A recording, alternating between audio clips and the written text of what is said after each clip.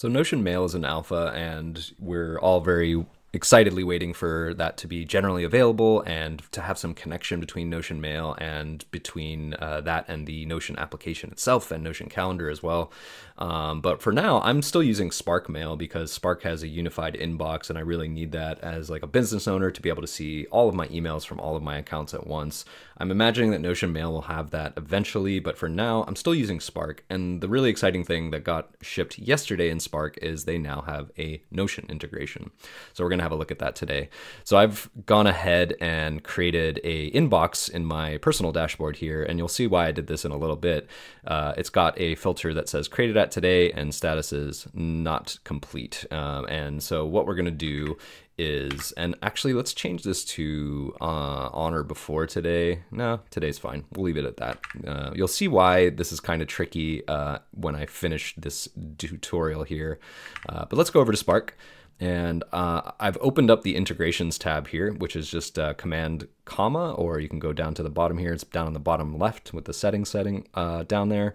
And then I'm going to go to the Notion integration and I'm going to click connect. And this is just giving access to uh, to Notion uh, via the Spark uh, account.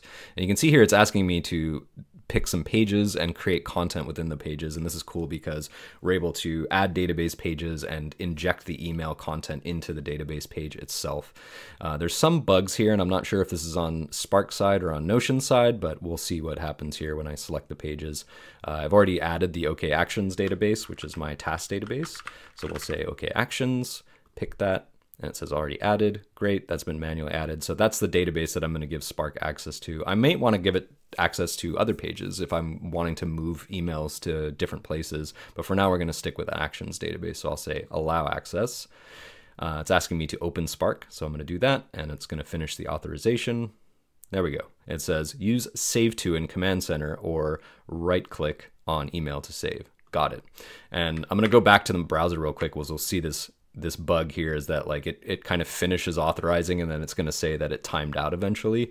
Um, I'm just closing the tab at this point. Uh, like I said, I'm not sure if this is on Notion side or Spark side, but there is some kind of bug with the OAuth process right now. And there you go. Uh, feels to have. And I usually just say okay and close this down and hope that uh, things are working correctly. But it does seem to work. Um, at least the integration does. I'm not sure about the OAuth situation. Uh, but anyway, let's go check out my inbox. Um, I'm going to get out of this. Um, I've got an email from Joe here. She's inviting me to do some end of year live journaling, and I want to save all this information into my Notion. Looks pretty cool. Um, so let's see what we got here. I'm going to go to the Command Center window here, and I can also access that by hitting Command K on Mac. And it told me to say send to. Uh, so send to, or was it save to? It was save to and I can click enter there and it says option O is Notion. So maybe I can actually just do that directly. Let's try that. Command O or uh, option O. Boom. We get our uh, new task in Notion. That's really cool. So it gives me an option to change the title here. And then I can say attach the email as an email or a backlink. And I think the difference here is like the email actually will inject the email content as best as possible into the Notion page, and a backlink will just create a link back to the email so that you can click through to it. Both of these actually add a backlink. The email will actually add a backlink uh, back to the email. And of course, the only database I have connected is OK Actions. I do have some other ones, and these are probably because these are nested databases inside OK Actions here. And I'm just going to click Save to Notion. Let's see what happens. So it says email was saved to Notion. It doesn't give us a link to that page. That would be a really helpful thing. So I just kind of have to assume that um, you know that it was created uh, successfully. So let's go back to my Notion here. Cool. So because I've got that created at today and status is not complete, I've got my email here. Let's open it up and have a look. There's the Joe email. All the content is there. Uh, and what what are we noticing here? It looks like none of those links came through. So all of this beautifully formatted HTML content non-existent in Notion. Uh, so that's kind of problematic. So that's not really going to help me take action here because I don't. I'm not actually able to click on those links here. So, uh, but it is a way that we can get at least some data into our space, and maybe then I assign it, you know, uh, an actual owner to process it because you can see here because I've got um, I've got this property set up to have the default be created by, and if I take off no uh, that default, then Spark is removed. Um, one of the limitations on the Notion side of things is that when we get to a person property, so if I wanted to say, show me all of the people, you know, all of the emails from Spark, I can't do that right now because you can't search for an owner by integration. Um, so what I'm trying to think of now is how else you might be able to um, to handle this right now. Like perhaps when you capture that email, let's say I wanted to capture this uh, SoundCloud comment here. Very smooth, need this, cool. I will capture that. So we were doing what? Option O. Maybe I do something like this where I just kind of prefix it with Spark, save it to Notion, And we'll see what happens here. Let's go back to our Notion. Let's see what this one looks like. So it's just grabbing the text.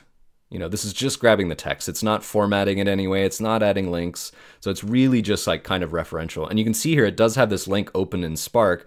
So that allows us to click back. It'll go to the Spark website and transition me back into the Spark app uh, opening that email up because Spark's kind of like deeply deeply integrated with all these services.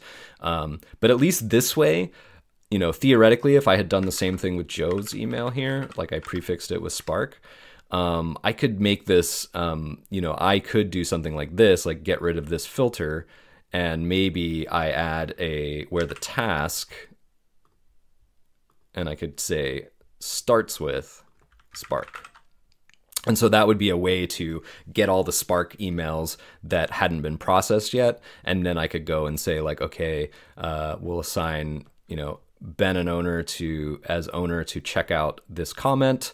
Uh, this is related to maybe it's related to my music journey project, which is ongoing, and maybe I'll do that today. Um, and then it's actually gonna, you know, and then I could maybe remove this prefix here or something like that. Or maybe I add an automation to remove the Spark prefix with a formula or something like that after it's been uh, assigned an owner and a project and a date or something like that.